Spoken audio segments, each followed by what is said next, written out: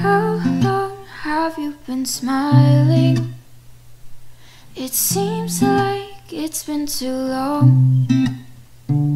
Some days I don't feel like trying. So, what the heck are you on?